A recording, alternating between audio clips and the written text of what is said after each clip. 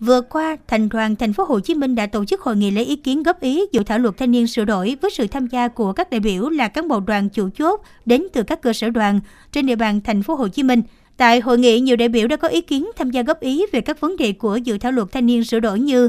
chế độ hỗ trợ thanh niên gặp rủi ro trong tham gia các hoạt động tình nguyện, các quyền và nghĩa vụ của thanh niên, trách nhiệm của thanh niên trong việc tham gia xây dựng và bảo vệ Tổ quốc, trách nhiệm của cơ quan nhà nước đối với thanh niên cần có những quy định cụ thể. Nhà nước quan tâm tạo cơ chế và các hoạt động dành cho thanh niên tôn giáo. Hay vấn đề khởi nghiệp là điều khá mới và đang thành xu hướng hiện nay nên cần đưa vào quy định trong luật, cũng như xác định rõ trong luật thế nào được xem là tài năng trẻ,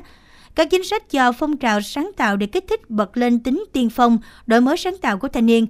Tất cả những ý kiến đóng góp của các đại biểu sẽ được tiếp thu và tổng hợp gửi về Trung ương đầy đủ làm chất liệu thực tiễn nhất để khi sửa đổi và ban hành, luật mới có tính thực tiễn cao và đi vào cuộc sống.